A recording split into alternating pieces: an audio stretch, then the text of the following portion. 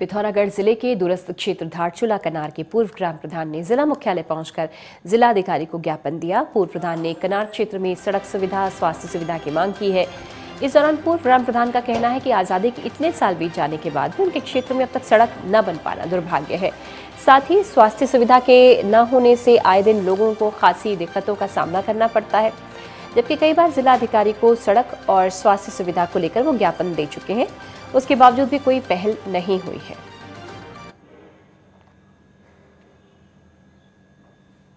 Demand है? Sir हमारी यही डिमांड है साहब रूट की है साहब। और आज़ाद हो गई थे वर्ष बीत गई अभी रूट नहीं है। भाई यही मांग है और स्वास्थ्य सुविधा है। कोई स्वास्थ्य सुविधा भी नहीं है। और मैं ग्राम प्रधान पूर्व प्रधान कनार से बाला सिंह परिहार और सर मैं एक धाचुला विकास के लिए सुदूरवर्ती क्षेत्र मतलब कनार से हिमालय के कोप में बैठा हुआ ये गाँव।